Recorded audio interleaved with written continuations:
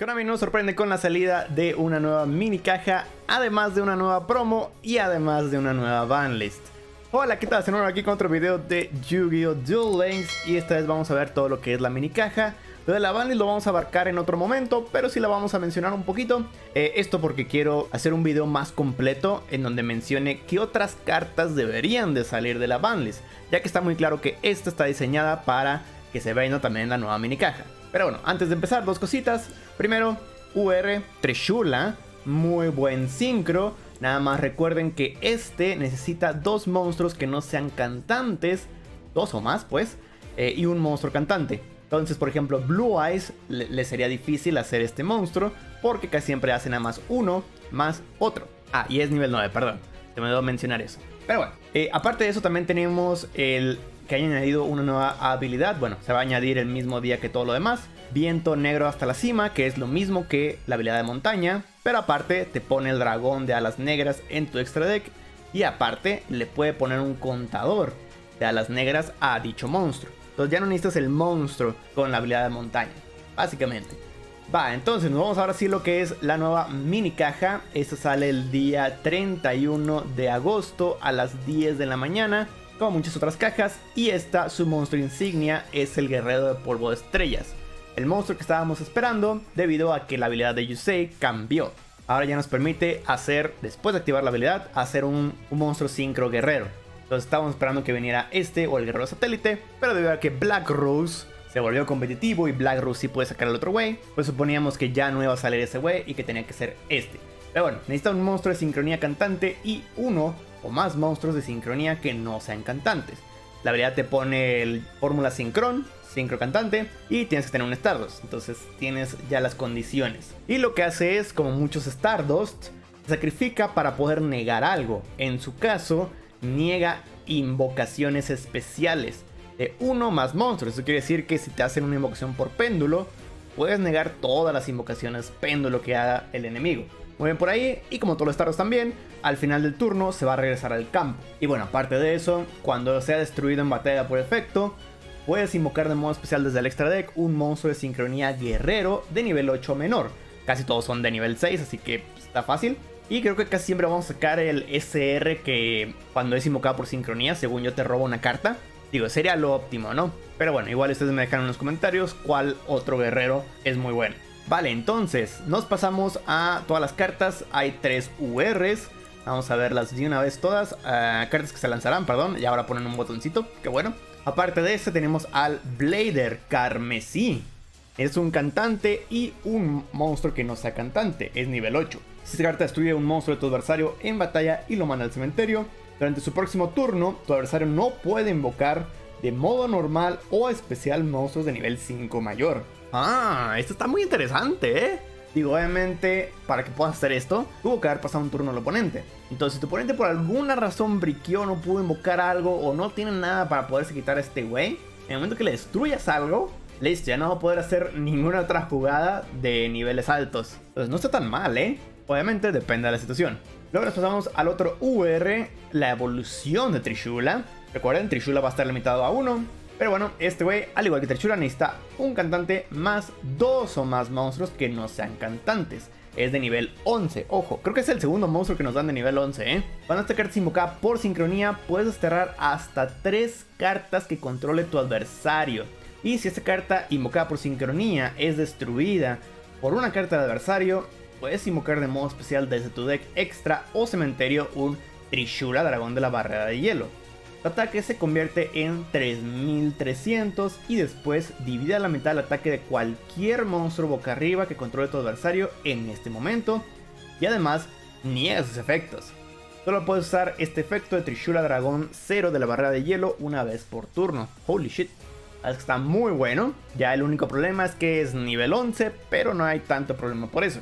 Habrá varios decks que lo van a poder hacer. Y ya con eso, eh, la dificultad de invocar a Trishula porque es nivel 9 y que necesitas 2, te va un poco porque si no, pues puedes hacer un nivel 11 con este güey y luego sacar a Trishula en todo caso.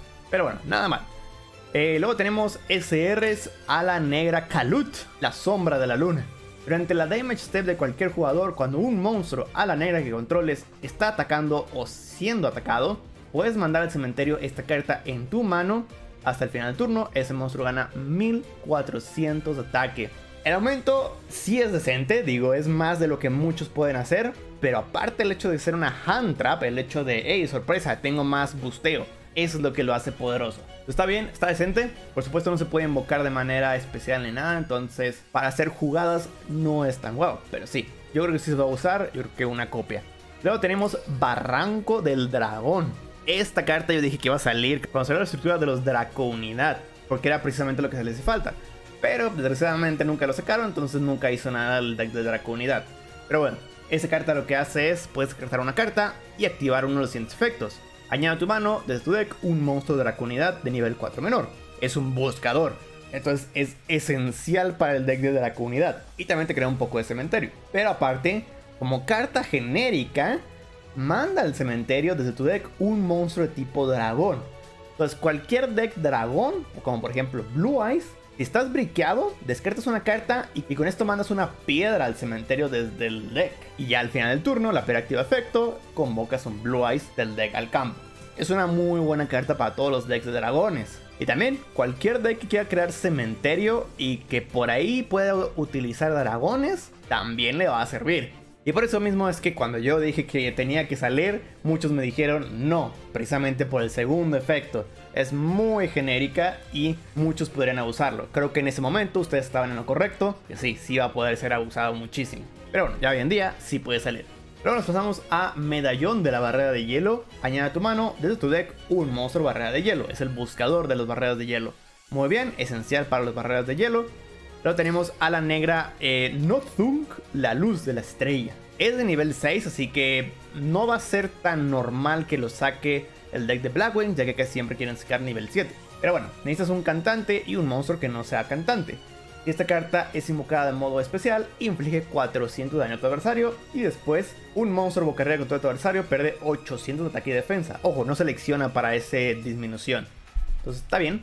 Eh, solo puedes usar este efecto una vez por turno y durante la main phase puedes invocar de modo normal un monstruo a la negra además de tu invocación normal colocar. Que no es una invocación especial, pero bueno, invocación normal te sirve para que actives también la carta de magia, para que vuelvas a buscar. Entonces no está tan mal. Si el deck de Black Wings puede hacer este güey, puede hacer una jugada aún más grande gracias a él. Pero bueno, nos pasamos a Wyverno Rojo, un cantante más uno más monstruos que no sean cantantes. Durante el turno de cualquier jugador, si un monstruo con un ataque mayor al de esta carta invocada por sincronía está en el campo, puedes destruir al monstruo boca arriba con el ataque más alto en el campo, y empate tú eliges. Este efecto solo puede ser activado una vez mientras esta carta esté boca arriba. Entonces nada más es una sola vez y listo. Tendrías que quitarlo del campo y volverlo a invocar para volver a activar ese efecto. O invocar a otra copia de esta. Entonces es un Synchro 6. Decentes, vale. Luego nos vamos a Cocodragón Voraz. Monstruo de nivel 9, muy bueno. Necesitas un cantante más un monstruo que no. Más uno más monstruos que no sean cantantes. Gana 500 de ataque por cada carta en tu mano. Pero puedes usar cada uno de los efectos una vez por turno. Eh, si esta carta es invocada por sincronía, puedes robar tantas cartas como el número de no cantantes usada para su invocación por sincronía. Entonces mínimo robas una carta. Eso es lo que lo hace buena esta carta. Y aparte, es un deck que está diseñado para, por ejemplo, invocar a Trishula, que también es de nivel 9, que normalmente usa dos monstruos, por lo menos, pues también vas a poder invocar a este güey y vas a poder robar dos cartas. Por eso es que adelante casi siempre van a ver a los decks que usen esta carta, también a Trishula. Pero bueno, efecto rápido también, puedes descartar dos cartas y después seleccionar una carta en el campo, Destruyer. Aparte tiene un efecto de limpieza. Entonces muy, muy buen sincro. Y nos pasamos a Archidemonio Inférnico. Este ya estaba desde antes, así que no lo vamos a leer. Tiene más soporte inférnico. Luego nos pasamos a Supresión Inférnica. Si no tienes cartas en tu mano, puedes activar esta carta en el turno en la que fue colocada. Cuando tu adversario activa un efecto de monstruo mientras controlas un monstruo inférnico, niega el efecto. Y después puedes infligir daño a tu adversario igual al nivel del monstruo activado por 50 pero puedes activar una de estas por turno. Está muy bien, la verdad, para el deck inférnico está muy bien. Y ya están reimprimiendo a su archidemonio inférnico. Y también tenemos más soporte de Draco Unidad. Armagram. Puedes cerrar dos monstruos dragón y o bestialada en tu cementerio. Todos los unidad son o dragón o bestialada. Invoca esta carta de modo especial desde la mano o cementerio. Puedes seleccionar un monstruo boca arriba, sus efectos son negados y además pierde 1000 de ataque por cada carta de equipo que controles. Cuando el monstruo de tu adversario es destruido en batalla y mandado al cementerio, puedes equiparlo a esta carta Solo puedo usar cada efecto una vez por turno. Not bad. Muy bien. Y con la carta buscadora de los Unidad. Digo, no puedes buscar a este güey, pero lo puedes tirar al cementerio. Y desde el cementerio se puede revivir. está haciendo muy poderoso este deck, ¿eh? Y también tenemos a Dracunidad Legatus, monstruo de nivel 4. Si controlas un barranco del dragón o un monstruo de Dracunidad, puedes invocarlo de modo especial desde la mano. Si una o más cartas de monstruos comunidad están en tus zonas de magia y trampas, puedes seleccionar una mágica trampa en el campo, destruyela. Uh, un tifonazo, ¿eh? Muy bien. Solo puedo usar cada uno de estos efectos una vez por turno. Entonces está muy bien también este güey, puede limpiar campos. Y como es nivel 4, puedes buscarlo con el barranco. Y como está el barranco, puedes invocarlo de manera especial. Entonces sí, eh, los decks están siendo muy poderosos ya ahora, ¿eh? Y bueno, también hay otras cartitas por ahí, hay muchas cartas inférnicas y ya tienen el Zero Max que es para revivir precisamente. Bueno, revive y creo que destruye también, ¿no? Y destruye todos los monstruos boca arriba en el campo que tengan ataque más bajo que el güey que revives. Está muy bien, también tenemos otras draconidades. Pero bueno, aquí pueden verlos ustedes todas estas cartas. Muy, muy buenas cartas que se vienen para varios decks de sincronía. Una disculpa que me haya salido. Pero sí, si me preguntan mi opinión, creo que es una muy buena caja. Que por lo menos la gente va a querer eh, venir a una vuelta para varios, varios monstruos de sincronía muy buenos que hay por aquí. Y para los que les interesan arquetipos, pues bueno, ya vimos los esenciales, ¿no? Que cartas son muy muy buenas como para venir a tres copias. Pero bueno, díganme ustedes qué opinan en los comentarios. Por mi parte, eso será todo. Muchísimas gracias por haber visto este video. Ya luego les saco el video con la banlist. Pero bueno, ya saben que para cualquier cosa, noticias, filtraciones, están en el canal correcto. Nos vemos en la próxima. Bye bye.